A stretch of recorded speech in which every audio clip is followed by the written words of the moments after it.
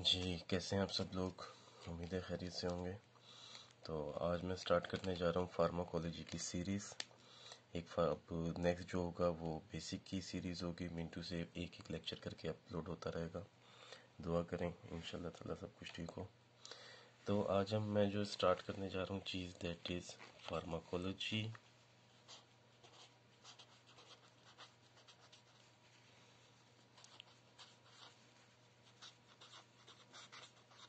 ठीक है? तो आज हम करेंगे फार्माकोलॉजी का इंट्रोडक्शन तो सबसे पहले फार्माकोलॉजी की डेफिनेशन व्हाट इज़ फार्माकोलॉजी तो फार्माकोलॉजी को हम कहते हैं कि it is the branch of medical science that deal with drug influence that deal with drug influence in body, right? The branch of medical science that deal with drug influence in our body is known as pharmacology. Right? Second thing, what is drug? Right? What is drug? So drug is our chemical substance. Drug is our chemical substance which can make changes which can make changes in our body. Right? So first definition is pharmacology. Pharmacology means drug influence in our body or you can say the study of drug in which we will study the drug influence in your body. When you are taking a drug it will enter into your body and what it will do second we have drug. Drug is a chemical substance which can make changes in our body right? Remember one thing that it is a chemical substance. Next we have that pharmacology. Pharmacology.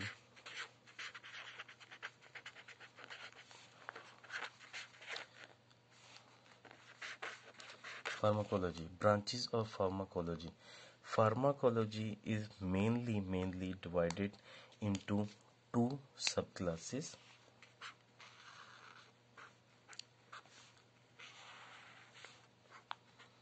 One is known as basic pharmacology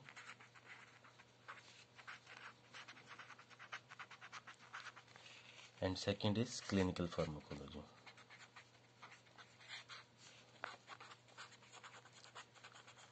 Basic pharmacology and clinical pharmacology. What we have to study in basic pharmacology and what we have to study in clinical pharmacology we will discuss here. In basic pharmacology we have to study two main things. Right? First one is pharmacokinetics and second thing we have to study that is known as pharmacodynamics.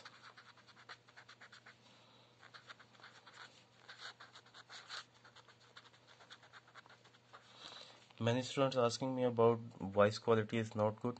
I know voice quality is not good. Please use microphone uh, hand freeze for listening the le uh, lessons because i have no mic right now.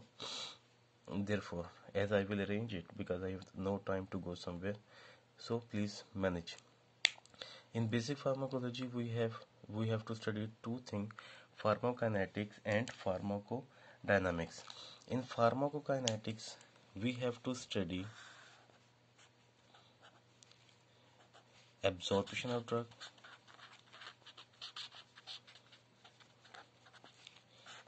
distribution of drug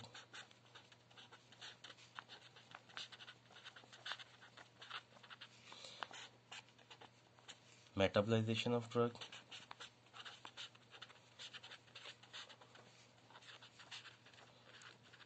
And excretion of the drug. So these things you have to study in pharmacokinetics. So what will be the definition of pharmacokinetics means what body do with drug? What body do with the drug?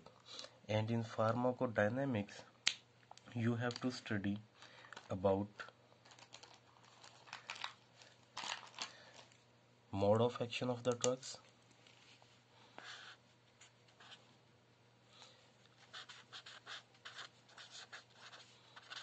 mode of action site of action. And mechanism of action. Pharmacology series this will be your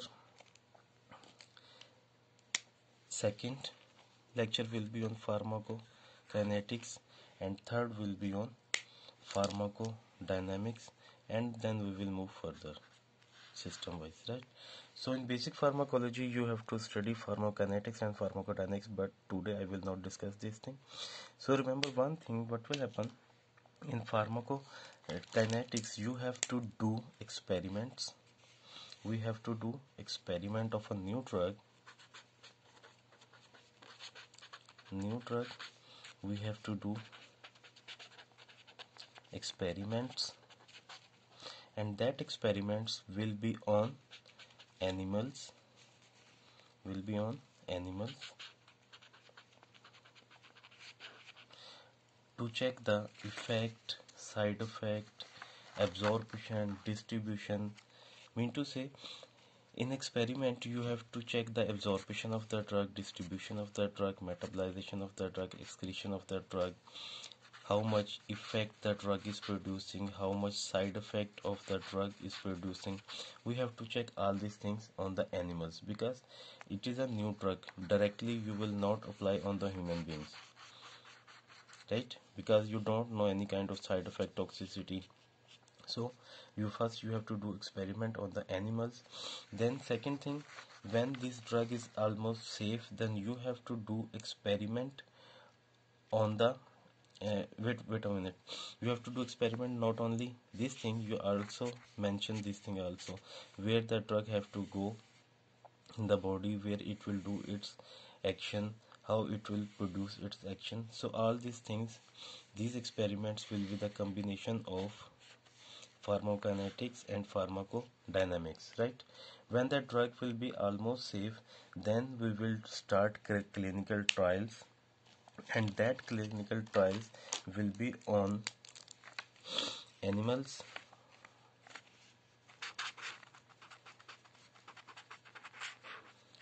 As well as human body.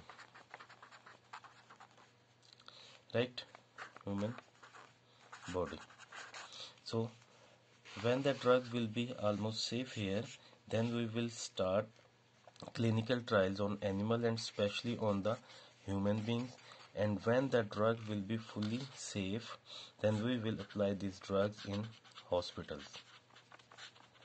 I hope you got the point. So this is the difference between basic pharmacology and clinical pharmacology. Right? Then i am moving towards the drug. Here again. A drug we can use for drug usage. A drug you can use in three different ways right? A drug we can use in three different ways. Number one for the treatment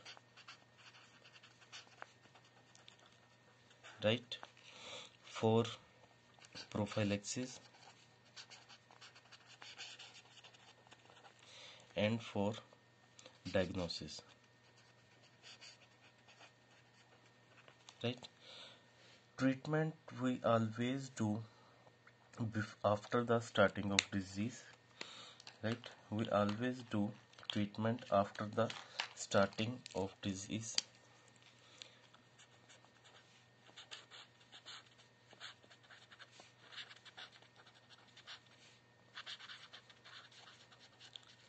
prophylaxis we do before starting of disease? Before starting of disease. And diagnose to predict the disease the patient is suffering by which disease. Right? So here we have examples. Every example you can say that for example a patient is suffer with infection then you have to treat with antibiotics. Prophylaxis example i can give like vaccines. Before starting of disease we uh, we are giving vaccines. And diagnosis. Diagnosis means to predict the disease. The patient is suffering by which disease? For example barium test. Right? To find out the ulcer its size its place. Also you can say that uh, x-rays but it is not will be here. Okay. Barium test is enough right? So these these are the usage of drug a drug you can use in how many different ways right?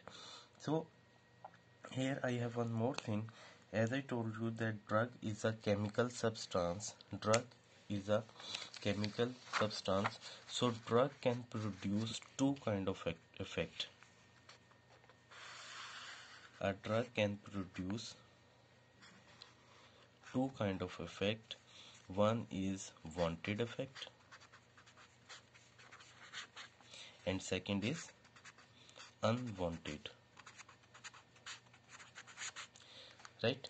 Drug can produce two kind of effect. One is wanted effect and second is unwanted effect.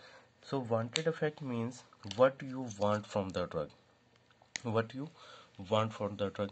For example a patient came to you with for example pain right? What you want? You want to decrease the pain right? So when you will give the drug to the patient and there will be no pain that will be wanted effect of the drug that the patient is recovered from the pain. And unwanted effect means for example for example a patient is suffering with infection right? And you are giving antibiotic. You are giving antibiotic. What will be the wanted effect? That by using this antibiotic there will be decrease in infection or there will be cure from the infection. But among it if there will be some other things appear in the body. For example patient starts suffering with diarrhea. So it is due to this diarrhea is due to this antibiotic. Understand? So that will be unwanted effect produced from the body and unwanted effect also known as side effect. Unwanted effect is also known as side effect.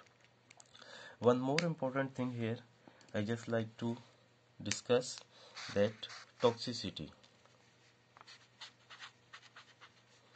Toxicity. Toxicity is due to overdose of the drug. Overdosage or you can say due to expire medicine. Expire medicine. For example body for example patient body requirement is 100 milligram per day right? But if you are giving 200 milligram per day mean to say there will be 100 milligram will be extra in the patient's body.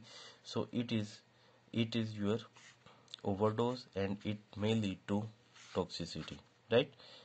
Right